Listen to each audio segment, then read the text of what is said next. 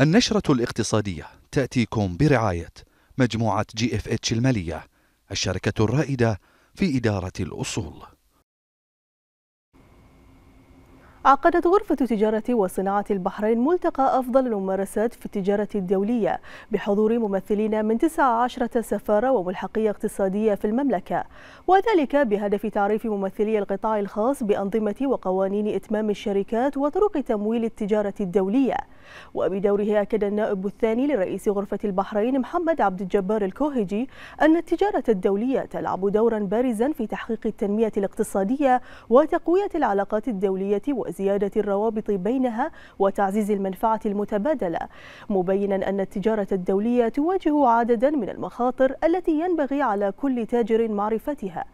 هذا المشروع يمثل يمكن نقلة نوعية في نشاط الغرفة في الوعي الجماهيري خلينا نسميه في مواضيع التجارة المحلية والتجارة الدولية.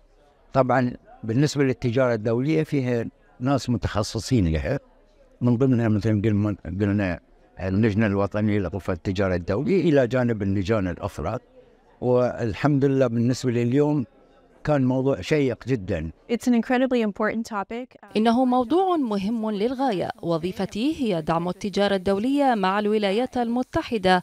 وهذا الملتقى يعتبر أحد أهم الأشياء التي تقوم بها غرفة تجارة وصناعة البحرين للمجتمع لتعزيز تبادل الأفكار.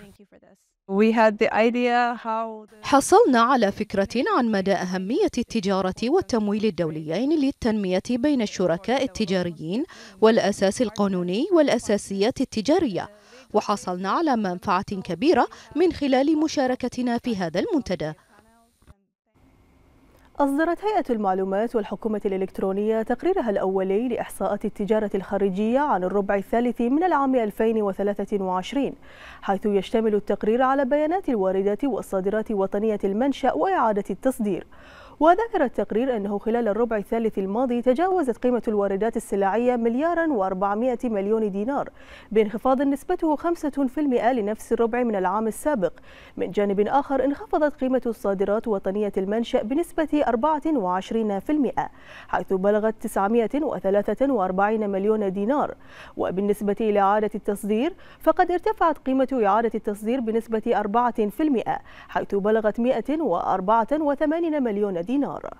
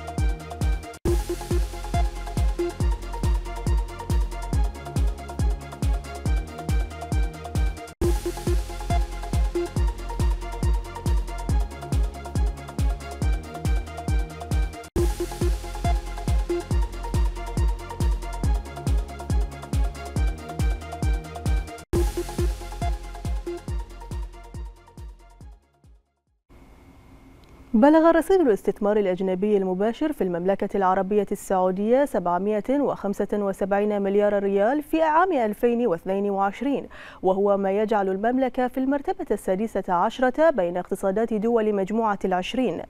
وأعلنت وزارة الاستثمار السعودية إحصاءات محدثة للاستثمار الأجنبي المباشر في المملكة تعتمد المنهجية الجديدة التي أقرها صندوق النقد الدولي والتي تقوم على تحليل القوائم المالية للوصول إلى إحصاءات سنوية عالية الدقة مقارنة بالمنهجية السابقة التي كانت تعتمد على احتساب تراكم التدفقات بناء على التقديرات.